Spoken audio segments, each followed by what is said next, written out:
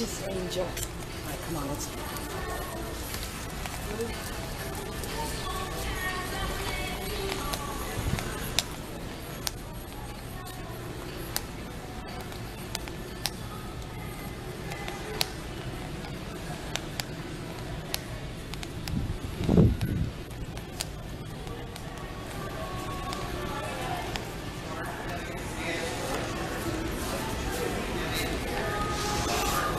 Yes.